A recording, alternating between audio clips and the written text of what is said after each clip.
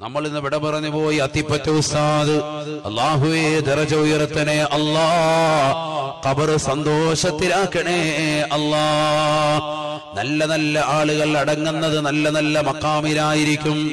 അതുകൊണ്ടല്ലേ വഫാത്തിന്റെ ഏതാനും വർഷങ്ങൾക്ക് മുമ്പ് ഫതുഹൽ ഫത്താഹി എന്ന് പറയുന്ന മഹത്തായ സ്ഥാപനം തുടങ്ങി വെച്ചത്.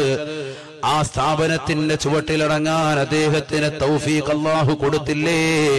നിങ്ങൾ ഓർക്കുന്ന ഓരോ സയ്യിദന്മാരെയും തെക്ക് നിന്ന് നിങ്ങൾ അന്വേഷിച്ചാൽ നിങ്ങൾക്കറിയാം. ഭീമാ പള്ളിയിൽ അടങ്ങിയിരിക്കുന്ന മഹതിയവറുകൾ ആ പള്ളി എത്ര മഹത്തരമാണ്. എത്രയോ മഹോന്നതമായ താഴികക്കുടങ്ങളുടെ താഴ്വശത്താണ് അവർ അടക്കം ചെയ്തിരിക്കുന്നത്.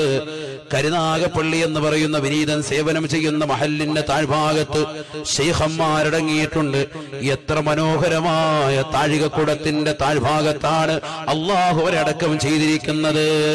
വെളിയങ്കോട് ഉമർക്കാലിയെ പരിചയമില്ലയോ? എത്ര മഹത്തരമാകുന്ന പള്ളിയുടെ ചാരത്താണ് അവർ വിശ്രമം ചെയ്യുന്നത്. മമ്പുറന്തങ്ങളെ പരിചയമില്ലയോ? എത്ര മഹത്തരമാകുന്ന താഴികക്കുടത്തിന്റെ താഴ്ഭാഗത്താണ് അവർ വിശ്രമം ചെയ്യുന്നത്.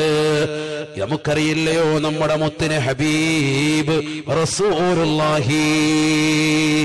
കാരുണ്യത്തിന്റെ കരസ്പർശം കൊണ്ട് മാലോകരുടെ മനതലങ്ങളെ മദീനയിലേക്ക് മാടി വിളിച്ച ഹബീബായ റസൂലുള്ളാഹി.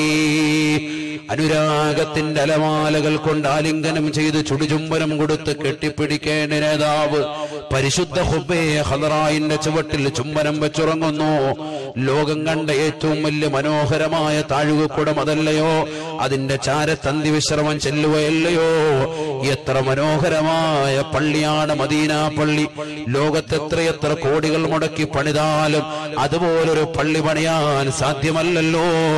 അള്ളാന്റെ റസൂലിന്റെ പ്രിയപ്പെട്ടതാകുന്ന ഭൗതിക ശരീരം അവിടെയല്ലയോ അടക്കം ചെയ്തിരിക്കുന്നത്?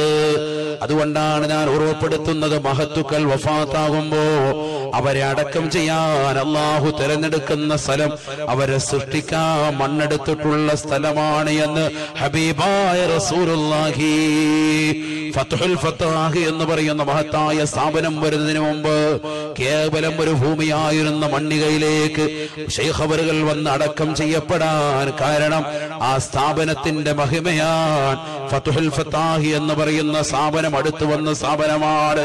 എന്തേ ആ സ്ഥാപനം പടച്ചറബത് ഉയർത്തിയത്? അത് ഷെയ്ഖിനടങ്ങാനാണ് ഷെയ്ഖിനടങ്ങാനാണ് മനസ്സിലാക്കട്ടെ അവർക്ക് വന്ന് അടങ്ങാൻ വേണ്ടി ആ സ്ഥാപനം ഉയർത്തി. നിങ്ങൾ നോക്ക് മഹത്തുക്കളൊക്കെ നോക്ക്. അവരുടെ വലിപ്പത്തിനനുസരിച്ച് കബറും അതിനനുസരിച്ചുണ്ടാവും. അള്ളാഹു മനസ്സിലാക്കാനുള്ള ബോധം നൽകി അനുഗ്രഹിക്കട്ടെ. അള്ളാഹു നൽകി അനുഗ്രഹിക്കട്ടെ.